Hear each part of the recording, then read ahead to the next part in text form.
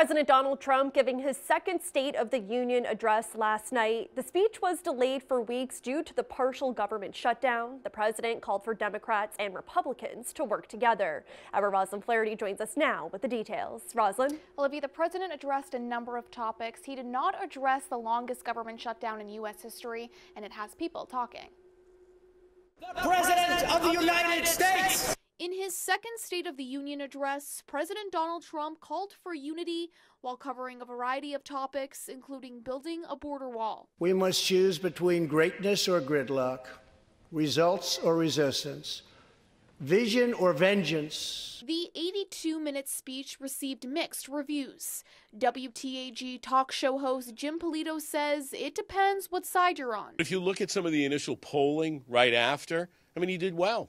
He did very, very well. A lot better than probably the reaction that you saw from a lot of the Democrats. Democratic Congressman Jim McGovern was in the chamber Tuesday. He's skeptical of the speech, saying actions speak louder than words. The president talked about unity, but for the last two years, uh, he's been the most divisive and polarizing figure uh, in our political system. President Trump did not address the longest government shutdown in U.S. history or the potential for another shutdown on February 15th if lawmakers can't come to an agreement about funding for the border wall.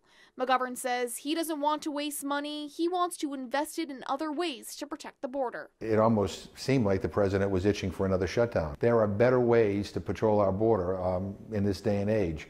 Uh, there's, there's new technologies, there's drones, there's sensors.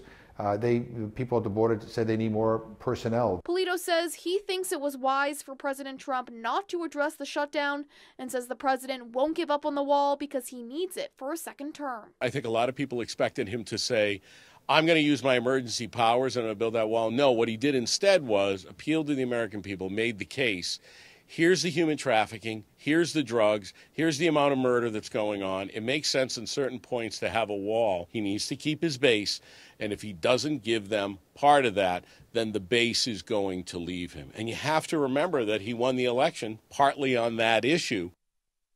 McGovern says there was a bipartisan spending agreement between Republicans and Democrats in Congress to keep to keep the government open. He says the partial government shutdown should have never happened. Roslyn Flaherty, Worcester News Tonight.